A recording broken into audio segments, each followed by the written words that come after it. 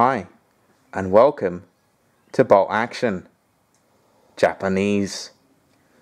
So, um, I picked up a Japanese starter, I think it's a starter set, from a guy over in Kapiti who, yep, uh, who also played in the Kings of War tournament that my dad was talking about in the last video. And got thrashed it.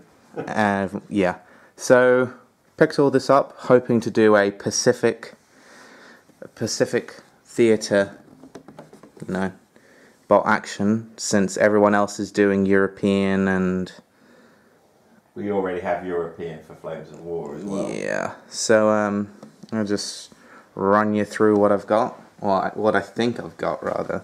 So I think I've got a HQ section with uh, some other guys. Uh, yeah, and then I've got two anti-tank suicide pikemen. I'm not sure what Is they are. where they used to put basically put a grenade on a bamboo stick or something? Yeah, a grenade or a landmine. And then I got a, I think it's a Chi-Ha medium tank. Uh, we have a medium mortar, medium machine gun. Then we've got three knee mortars and then three of the Type 99 LMGs. Light machine guns, I'm not sure. And then we've got the bulk of it, we have four squads of Japanese infantrymen. Uh, these two are 12 man, and then these two are 10 man. I bet you know what rifle they've got. Uh, the. Uh, uh, no, I don't know. A scanner or something? A Hara rifle or something, something like that. Uh, some of the uh, figures are very cool. We've got the officer with his sword charging towards the front lines. I have to say, these are very nice models. We've got a lot of good poses on them. Some with some as if they're charging forward, some laying down and shooting, some throwing grenades.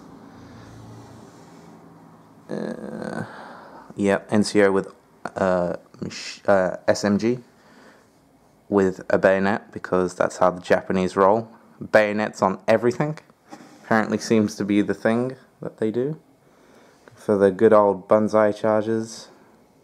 Probably was because they, they ammo was in short supply amongst other things.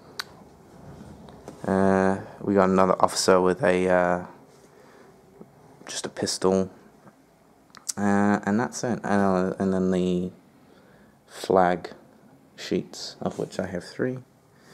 So yeah, expect bolt action sometime next year. How could I get an army together? You've got to get your Flames of War army together. Quiet, quiet, minion, quiet. So yeah, uh, expect expansions other than just 40k.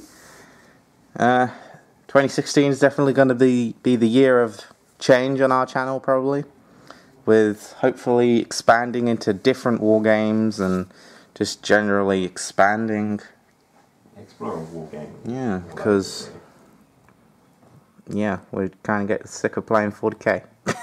it's basically it.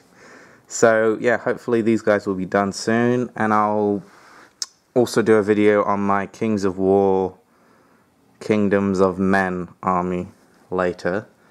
So yeah, that's it for now. The War Bunker, signing off. Goodbye.